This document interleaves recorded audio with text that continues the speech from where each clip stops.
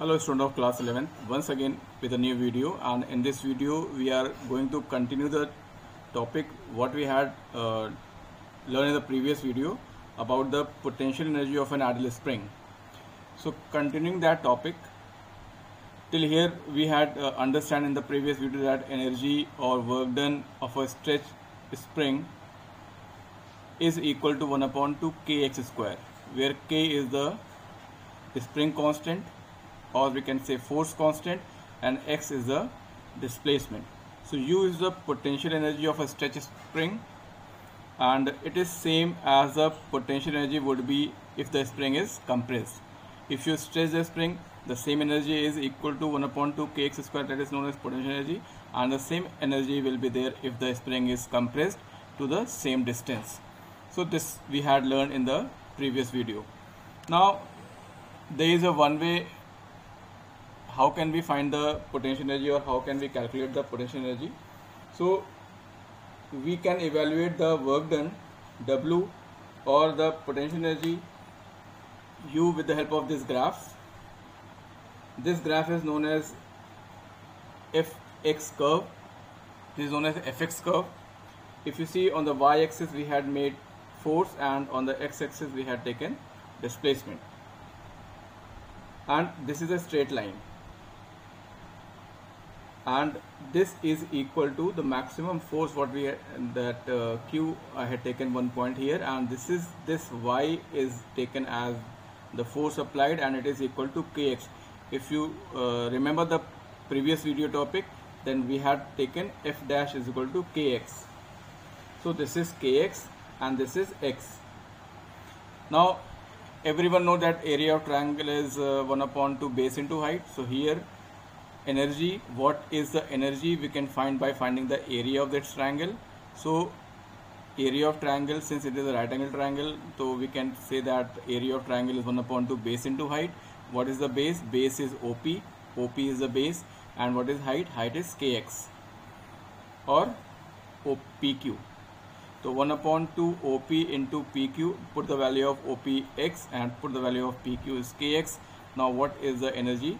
Half kx square so by this method also if any numerical is given in the graphical form so you can also find the uh, work done or the potential energy of the stretch spring. U is equal to 1 upon 2 kx square. Now one important point is there work done by applied force f dash is applied force. Work done by the applied force f dash in stretching the spring through the distance x is equal to area below the straight line for x is equal to 0 to x is equal to x. Means from zero से x तक distance तक किसी spring को खींचने में क्या work done होगा, क्या उसमें एनर्जी स्टोर होगी, वो निकालने का तरीका हमने यहाँ पर इस ग्राफिकल मेथड में देखा। वन अपॉइंट टू के X square and this is the applied force and this is the distance covered और displacement taken by the spring stretch spring now if you remember this remember this figure we had uh, taken this figure in the previous video. Again here with this figure. If the block is at its equilibrium position and here we are taking the point A at equilibrium and the x is equal to 0 in this figure we had stretched the spring up to the distance x means AB is equal to x AB is equal to x. So the energy in a stretch spring is 1 upon 2 kx square. So at B if the potential energy of a stress spring we are taking 1 upon 2 kx square at B point and if you release this block at this point the block will move towards O through A. Now at B the potential energy of a stress spring is 1 upon 2 kx square while the kinetic energy of the block is 0 because here the block is at rest. So at rest the kinetic energy will be 0 and what is the energy this block possesses this time? Potential energy and the potential energy is 1 upon 2 kx square and the kinetic energy is 0. At this point the kinetic energy is 0 and potential energy is 1 upon 2 kx square. Now if you leave this block from here it will move towards a fixed point through the point A. Now the energy going to change here the potential energy is 1 upon 2 kx square and the kinetic energy is 0 now when the block move towards the point A the potential energy now reduces and at point A it becomes 0 and here the kinetic energy is maximum 1 upon 2 k, kx square and due to this kinetic energy the block passes the point A and come to the point C. Because it has kinetic energy. So what conclusion we have taken from here.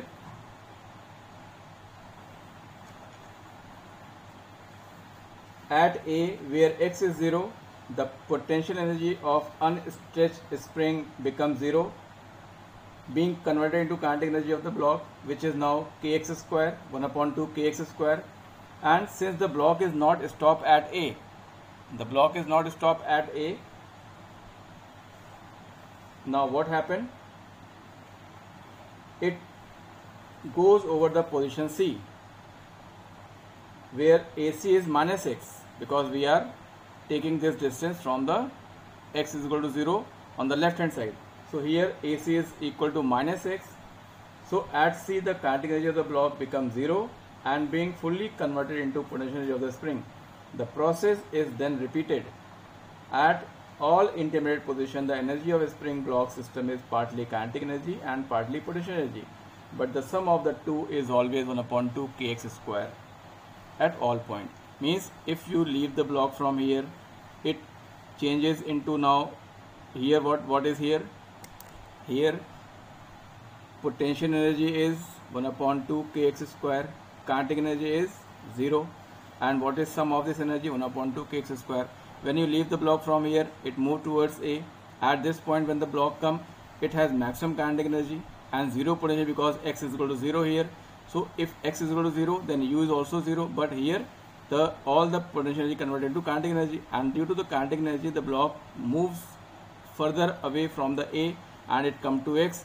Now when it block move from this point to this point so again the kinetic energy re reduces and potential increases. At this point again potential energy is half kx square and kinetic energy is 0 and now again when the block moves like move towards A and due to maximum kinetic energy at A it again moves here so this is a spring block system which has at every point the total sum of energy is constant and the energy is converted into kinetic and potential.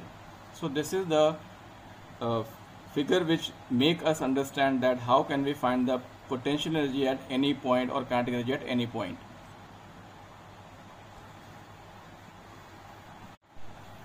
Now this is the point A. At this point the potential energy is 0 kinetic energy is maximum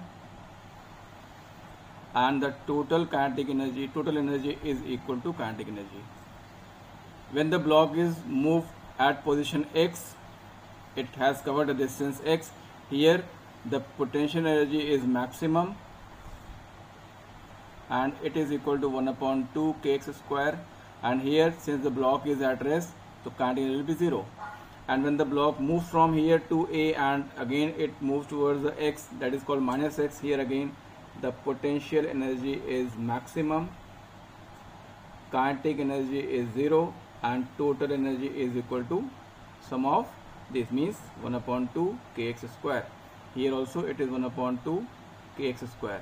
Means at every point if you had uh, understand that every point if the kinetic energy reduces then the energy converted into potential energy. So when you draw the graph you will get this curve.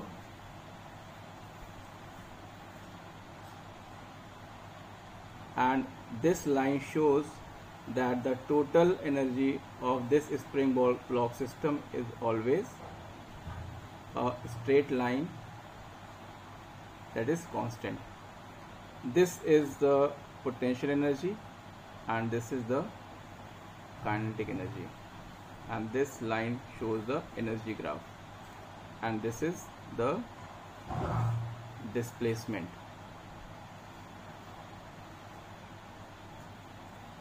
this shows displacement and this shows energy. So this line is the constant and it shows that the total energy of the spring block system always remain constant. So this is the graph between potential energy kinetic energy against the displacement and uh, this horizontal line what horizontal line represent? This horizontal line represent that the total energy is always 1 upon 2 kx square if this energy increases so that amount of energy will decrease from here means कितना भी अगर ये potential घटेगा उतनी quantity बढ़ेगी लेकिन दोनों का सम हमेशा कांस्टेंट रहेगा this graph is very important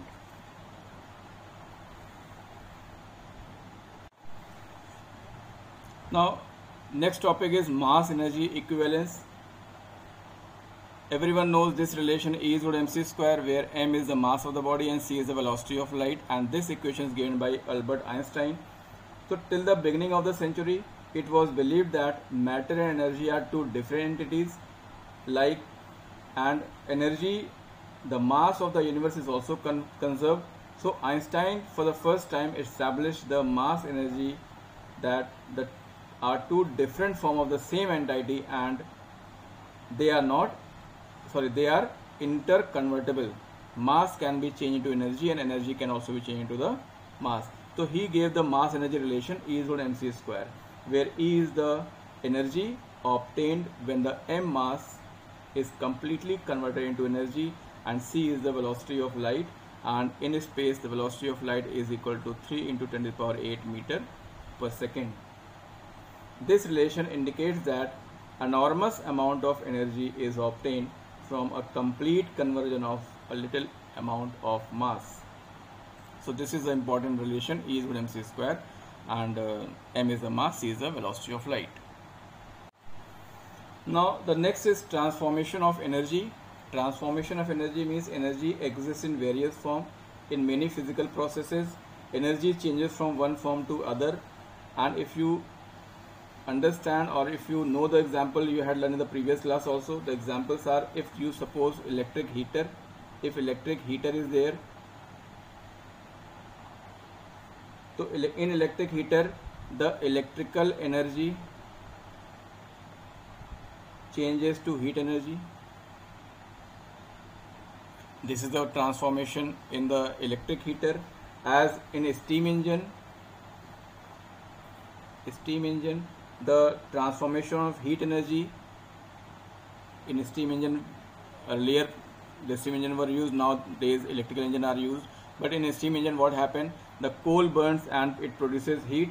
Then heat energy make the engine move means heat energy is changed into the mechanical energy. Like this so many examples are there in our daily life where we can see the transformation of energy like in the electric bulb in electric bulb, electrical energy is converted to light energy and heat energy. In burning of coal, oil, the chemical energy is converted, converted to heat energy. So there are so many examples. If you are using your bike or motorcycle or scooty, whatever you have, in that until the fuel is not there in the form of petrol, your vehicle will not be able to run. So in that the chemical energy is utilized to make the vehicle move means the chemical energy is converted to the mechanical and then kinetic energy. So these are the transformation in our daily life what we see in the various form of energy.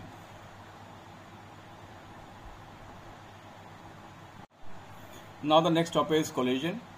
Collision को हिंदी में बोल सकते हैं टक्कर तो collision between two bodies or particle is said to occur when they either physically strike against each other or if the path of the motion of one is influenced by the other is also known as collision या तो आमने सामने टक्कर हो या किसी से टक्कर हो, इसको भी कोलिजन बोल सकते हैं या किसी वजह से अगर दो बॉडीज ने में से किसी एक ने अपना रास्ता दूसरे के इन्फ्लुएंस से बदल दिया तो उसको भी हम यहाँ पर कोलिजन समझ सकते हैं। Means the collision between two body if you are playing a carrom तो with the help of striker you are hitting the coin that is also collision and if you coming from your scooter bike or anything and uh, fast moving car is passes you and you had shifted your vehicle to some distance that is also the collision. Means this is also known as collision. Only always hitting is not the uh, part of collision. So collision between two bodies or particles is said to occur when they either physically strike against each other or if the path of the motion of one is influenced by the other is non collision and uh, collision are of two type elastic collision and inelastic collision. In elastic collision, potential energy, sorry, momentum and kinetic energy both are conserved. And in elastic, inelastic collision, inelastic collision means in which only kinetic energy change and momentum conserved. So this is the type of collision these are the two type of collision elastic collision and elastic collision अगर हम एक ball को ground पे फेंकते हैं और वो ball ground से टकरा करके वापस हमारे हाथ में आ जाती है हम कैरम पे स्ट्राइकर को किसी कॉइन से हिट करते हैं और कॉइन्स से हिट करने पर स्ट्राइकर और कॉइन अलग अलग हो जाते हैं। तो ये एग्ज़ाम्पल जो हैं वो इलास्टिक कोलिजन के हैं। और जब हम किसी बॉडी पर किसी बॉडी को हिट करते हैं या किसी बॉडी से कोलिजन होता है और वो बॉडी उस पर स्टिक हो जाती है, चिपक जाती है तो उस केस में हम इसको बोल सकते हैं इन इलास्टिक कोलिजन या perfectly inelastic collision these are the way these are the examples how can we understand the collision or collision or type of collision elastic collision and inelastic collision